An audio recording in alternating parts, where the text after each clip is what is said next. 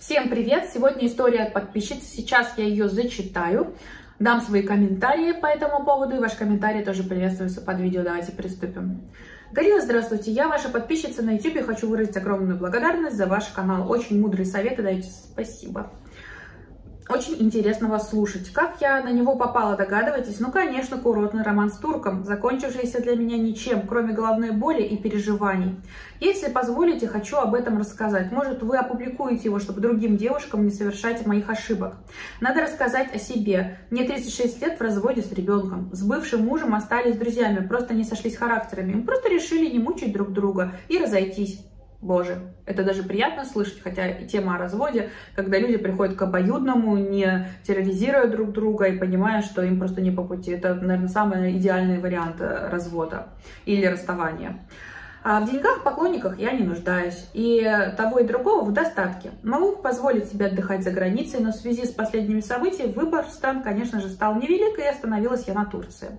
И вот такой поездки я налетела, в кавычках, на него. Я отдыхала с компанией и со своим ребенком. Отдых был супер, я просто наслаждалась шикарной погодой и бездельем. Персонал отеля очень тактичный, вежливый, доброжелательный, никакого хамства, намеков в свой адрес не получала. Э, знаете, его и не должно быть. Вообще в хороших отелях не то что хамство или намек на а, флирты какие-то, у персонала вообще в хороших отелях запрещается, если что.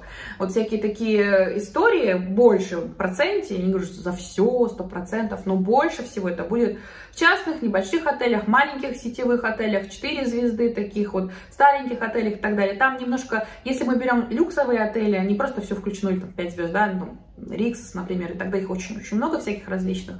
Там дисциплина, там другой отбор персонала серьезно идет, там зарплаты повыше, поэтому персонал отеля не всегда позволяет себе не то что вольность, вообще какие-то флирты с сотрудники, с поселенцами, как называется, с гостями, да, постояльцами отеля. А, вот. А, ну и там в таких отелях, конечно же, все проще решается. Кстати, если что, обратитесь всегда к менеджменту, скажите, что вам неприятные знаки внимания оказывают, против которых тут оштрафуют и на место поставят, если бы вы обращались. То есть я не говорю о том, что в крутых и люксовых отелях не подкатывают, но это вообще в разы меньше ситуация. Они боятся просто там это делать, и что не могут лишиться своей работы. Давайте продолжим вашему письму. Но один взгляд на себе я все же ловила каждым разом все чаще и чаще. И где-то на четвертый день отдыха я поняла, что со мной что-то происходит. Меня притягивают его глаза. Он сотрудник отеля, мужчина на 30 лет, очень красивый и милый. Случайно получилось нам с ним заговорить по какой-то там ерунде в отеле. Но очень он обрадовался, что я к нему обратилась с вопросом сразу стал интересоваться, откуда я, как меня зовут и тому подобное. Представился сам, дальше все как в тумане, потому что меня просто накрыло странное чувство, которое я давно давно никому не испытывала, какая-то подростковая гормональная влюбленность. И чем больше он на меня смотрел, тем больше я пропадала. Следующие дни были сказкой. Не хочу описать подробности, но это было настолько эмоционально непривычно для меня, что я себя не узнавала. А я здесь остановлюсь. Причина сразу вам скажу, даже не дочитывая письмо. Причина в том, что вы себе позволили эмоции. Вы по жизни человек, эмоции свои, скорее всего, подавляющий, избегающий. И вы стараетесь убежать от происходящих проблем и всего прочего. Эмоции себе не разрешаете, подавляете. Эмоции разные спектры. Любовь, э, чувство привязанности и так далее в том числе. Поэтому с этим человеком вы легче преодолели некий барьер для себя самой и для себя самой позволили чувствовать эмоции, переживать эти эмоции. То есть проблема вообще у вас, если так можно сказать, да, в вашей психике, что вы подавляете себе, не разрешаете чувствовать что-либо, некий спектр, какие-то группы эмоций. А с этим человеком, под вот этим воздействием, назовем так, вы это преодолели и почувствовали. То есть кайф не в нем проблема была, от самого процесса. Вы для себя и себя увидели в другом свете, для себя прочувствовали, прожили что-то другое, и от этого вам было хорошо. Он говорил те слова, которые я еще хотела слышать, что мечтал, чтобы я обратила на него внимание, что он очень стеснялся подойти, что я единственная неповторимая, что он искал меня всю жизнь, все как по учебнику. Но у любой сказки есть конец.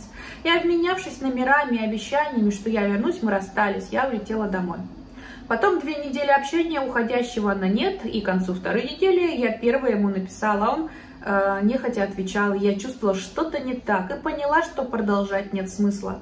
Как бы не было больно, лучше остановиться. Мы перестали переписываться, но остались подписанты друг на друга в соцсетях. Я украдко следила за его жизнью. И все бы ничего, но есть одно «но». В этом году мы с ребенком и подругой снова поедем отдыхать в отеле, так как там очень нам понравился, искать что-то другое просто нет сил. И как я поняла из соцсетей, он там работал, работает снова, но сейчас что-то у него там произошло, он удалился с своей страницы в соцсетях и сменил симку. Никаких новостей, там ли он или нет, у меня нет. Я вам скажу, женился. Или жена его застукала зачем-то, или отношения появились. Все, кто на курортах знакомятся, тусуются, они все меняют телефоны, симки, удаляются, соцсети и так далее. Все это, а, когда они хотят сжечь контакты предыдущие, памяти, я больше скажу. Они, скорее всего, проходя на улице, будет идти с девушкой или женой, сделать вид, что он вас не знает, не видел, не поздоровается, отвернет лицо или сделает так, чтобы вы не встретились. Вот таких курортников различных, если вы знакомились, если у них есть действие, что они, эм, короче говоря, эм, ну, не знаю, не могу сказать, стали на путь истины, ну, не знаю, про серьезные отношения или что-то там у них, короче, серьезно, реальное, что-то настоящее назрело, они вычеркивают свою прошлую, стараются как минимум вычеркивать или максимально ее скрывают. Поэтому смена номера, адреса, работы, там, не знаю, блин, внешности и всего прочего, или круга друзей, нормальная абсолютно тема. Никаких новостей там он или нет у меня – Ехать стесняюсь и боюсь. Взрослая тетка, веду себя как подросток. Ага, вот он и ответ. Ведете вы себя как подросток, потому что вы себе в последний раз такие чувства переживать, эмоции э, разрешали в том подростковом возрасте. И сейчас у вас это все маякнуло заново. То есть с того периода, может быть, у вас была травма на эту тему, вы стали запрещать себе чувства или чувствовать, подавляете в себе это и сейчас вы некомфортно себя стран... это вся проблема, как бы игра в вашей голове, и он уже забыл, поверьте, у него он своя какая-то жизнь, он куда-то делся, он там что-то поменял, и ему до вас никакого дела, скорее всего, не будет. Может быть интерес, может быть общение, но только с целью, извините, как я и скажу, парочки каких-то легких связей безответственных и так далее для приятного времяпрепровождения все, что от него можно ждать. Но если он типа стал на путь истины серьезные отношения, то он даже на это может и не пойти, чтобы не испортить то, что у него сейчас есть, если он это ценит. А, хочется снова его увидеть, но и надоедать не хочу. Очень боюсь, что он будет там про меня всем рассказывать в подробностях, что-то хвастаться, даже смеяться надо мной. И отдохнуть хорошо у меня тогда не получится. Прямо растерялась и не знаю, как себя вести. Если он там будет, если нет, то грустно, конечно, но будет проще. Так что вот так, такая моя история. Я вам сейчас скажу, а, давай, как бы конец истории, я вам сейчас расскажу. Смотрите, вообще в идеале вы едете туда, и даже если он там есть и работает, вы его не замечаете. Делаете, вы с ним не общаетесь, не тусуетесь, не ищете вообще знакомства какого-то продолжения, вообще ничего не рассчитываете. Ваш максимум его не замечать, отворачивать лицо, как бы я про хорошее, да, говорю, чтобы для вас выгодно, да, было и э, делать вид, что вы вообще не знакомы. Если совсем в глаза в глаза встретились, сказать «привет», и все. То есть он начинает задавать вопросы, лезть под шкуру или что-то лишнее, с кем ты, кто ты, что ты приехала, и там, там с мужем уже, или где твой ребенок. Э, все прекрасно, я отдыхаю, все как и сливаемся. Вот это самое правильное, достойное поведение, чтобы про вас не судачили, не обсуждали с персоналом, и вот этого всего не было потому что э, вы все держите, дистанцию. Было и было когда-то помутнение рассудка там в прошлый раз, и все. Тогда как бы это самый вариант, чтобы о вас достойно думали или вы себя комфортно чувствовали. Проблем вот можете так, пожалуйста, но вы же что хотите-то? Вы же хотите снова пережить те эмоции 16-17-летние подростковые, которые вы вообще, не он вам нужен, вам нужны эмоции. А он это такая палочка-выручалочка, ключик включать эти эмоции и встречаться с ними. Потому что без него вы себе это запрещаете делать. А на его месте может быть любой другой человек. Так что если вы хотите какого-то приятного общения, просто не общайтесь с ним, а найдите себе друга, товарища, не знаю, как это можно назвать. Я не э, как бы подбиваю вас на какие-то связи, ни в коем случае. Ведите себя достойно и прилично, а ни на что вас не провоцируют действием каким-то, но можно общаться и просто так с людьми без какой-то близости интимной и тому подобное. Если вам нужны чувства и эмоции, найдите просто себе мужчину, парня. Короче, знаете, пришло время вообще вам по жизни сходить к психологу или разобраться в себе про эмоции. и научиться самой их проживать, вы себе их сами запрещаете. Хватит искать костыль или палочку, выручалочку, которая позволяет пережить эмоции, вы их можете научиться переживать самостоятельно, разрешить себе это делать. Научитесь, пожалуйста, благодаря специалисту, он вам поможет 100%. Найдете причину, просто почему вы себе это запрещаете, проработаете это и будете спокойно жить дальше. Вам вот эти вот всякие курортные или еще какие-то мужики, которые позволяют это почувствовать, не нужны будут. Но вот в ситуации данной с ним если вы хотите про как мне чувствовать себя за, безопасно, защищенно, чтобы меня не, обо мне не судачили не, и все вот это прочее, не общаться с ним. И вообще в отеле ни с кем не знакомиться. Найдите себе человека, товарища, друга или приятные эмоции за территорией отеля, пожалуйста. На этом отеле вся жизнь не закончилась. А не в магазинах при отеле. Сходите на, вечеринку, на дискотеку. И там, я не знаю, куда, как, какой это отель, да, уровень все прочее, есть ли что-то вокруг или нет. Ну, короче говоря, пообщайтесь с кем-нибудь еще.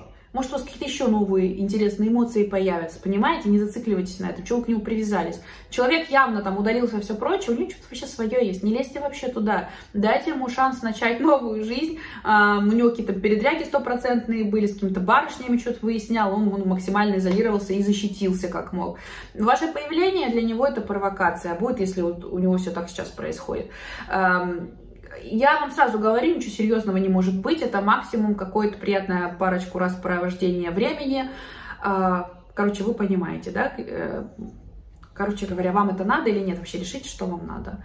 Не, проблемы только в вашей голове, никто о вас там ничего не думает, уже, скорее всего, забыл и так далее, и так далее. То есть этот, э, вы благодаря ему встретились с определенными размышлениями в своей голове про себя и про свою жизнь.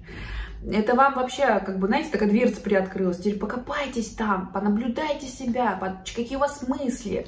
А, вообще подумайте, какие эмоции вы себе запрещаете, когда это началось примерно в вашей жизни, почему это вот такой подростковый период, что после него не было, почему этих эмоций не разрешала я себе.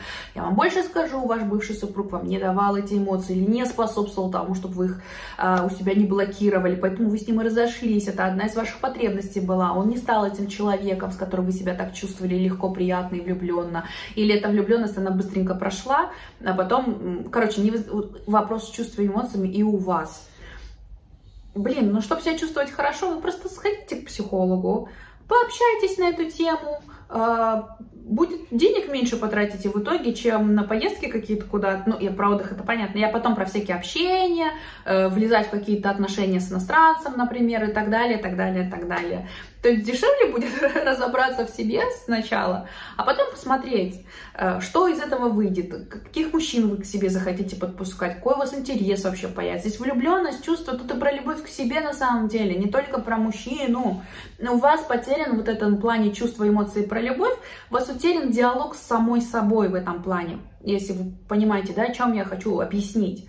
Вы либо себя не любите, не принимаете определенную себя, а, запрещаете себе, или запрещаете эмоции, вас научили их э, отвергать, или вас этими эмоциями, с влюбленностью уже отвергли, или говорили, что это неправильно, нехорошо, вы научились блокировать это, но вам это очень сильно нужно. И потому первый встречный, кто смог, вам позволил этот барьер внутри себя преодолеть, он стал таким интересным, манящим, интригующим. Ну, поверьте, на его месте может быть любой другой человек.